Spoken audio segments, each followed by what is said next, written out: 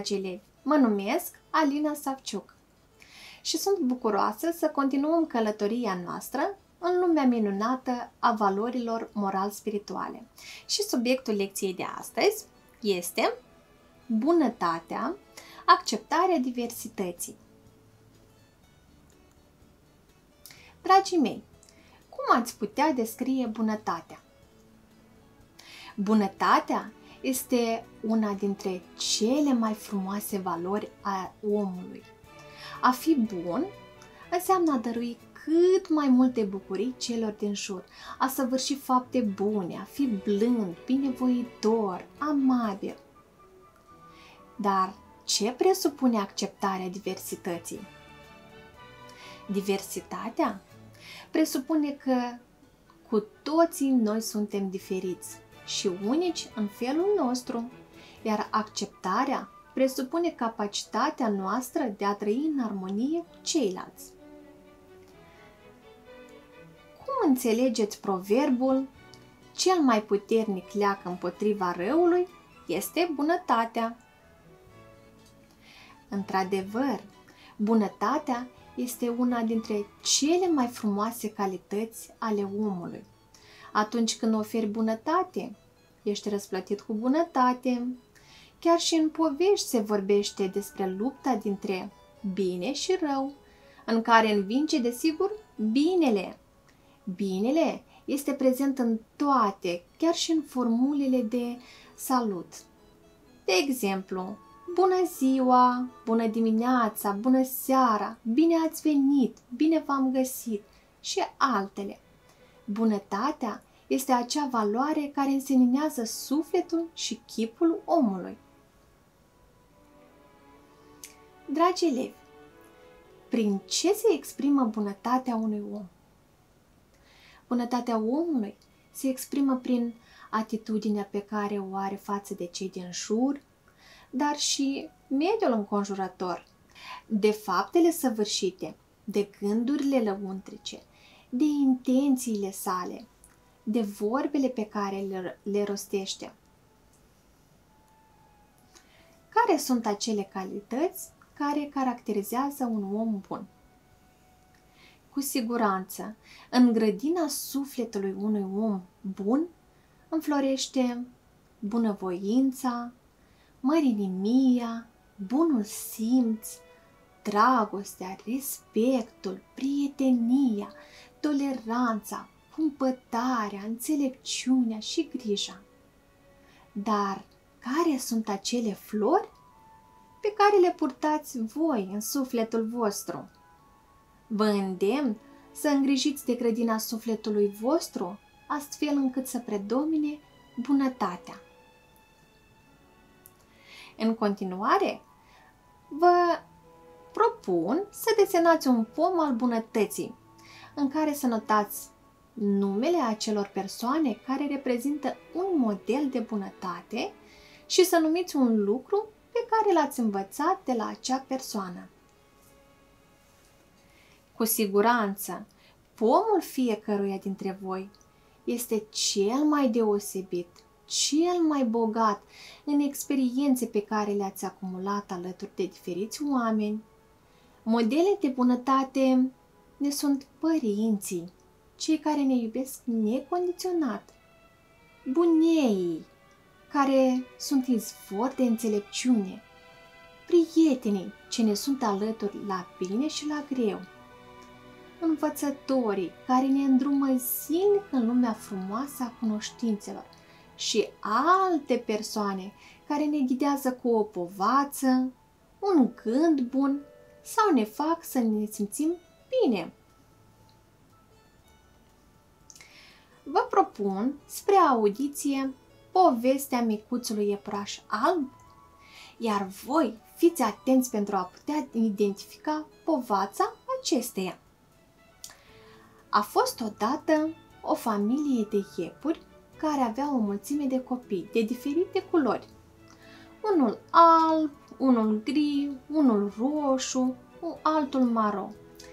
Printre ei era și unul mai mic, care era alb ca zăpada într-o zi însorită de iarnă. Această familie de iepuri trăia cu alte familii. Deseori se întâmpla ca micuțul iepure alb să fie alungat de frații și surorile sale și chiar și de prietenii săi, deoarece el era cu totul alb. Pentru că era diferit la culoare, nimeni nu se juca cu el. Din acest motiv, adesea el se simțea singur și respins de ceilalți. Acest lucru îl făcea să se simtă atât de trist, deoarece nu avea cu cine să se joace. Uneori, ceilalți râdeau și făceau glume pe seama lui, deoarece era mai mic și mai diferit decât ceilalți. Toate cuvintele și comportamentele rele pe care ceilalți le făceau, lui îi răneau inima lui Mica. Când venea seara și soarele pleca la culcare, micuțul iepuraș alb nu putea să doarmă, deoarece se gândea la frații și surorile care l-au necăjit toată ziua. L-au mușcat de urechiușele lui mici, l-au pișcat de lăbuțe, l-au plesnit peste codiță, l-au apucat de gâtul lui mic, se simțea rănit deoarece nu știa ce să facă în aceste situații. Micuțul iepuraș visa să trăiască în armonie, visa la o viață mai bună în care fiecare să se poarte frumos cu ceilalți. Într-o dimineață, micul iepuraș alb s-a săturat de această joacă dureroasă și s-a hotărât să plece de acasă în inima pădurii. Se gândea că în timp ce se va plimba prin pădure, va întâlni pe cineva care ar putea să-l ajute să-l învețe cum să trăiască în pace cu ceilalți frați și cum să scape de suferința și furia pe care o adunase de atâtea zile. După ce a mers el o vreme prin pădure, a trecut pe lângă vizuina unei vulpi. El știa că vulpea, cea esteață,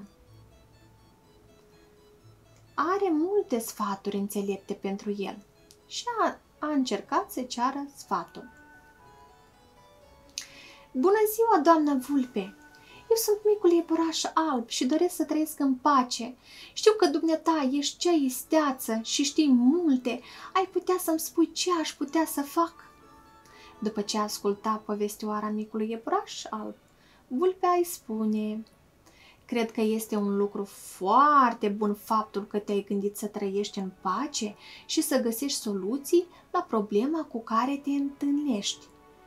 Când eram copil, nu eram așa de isteață cum sunt acum. Cu timpul am învățat să fiu calmă.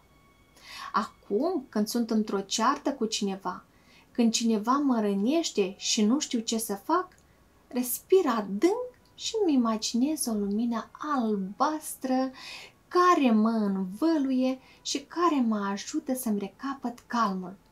Doar când sunt calmă, pot să vorbesc fără să mă cert pentru a rezolva un conflict.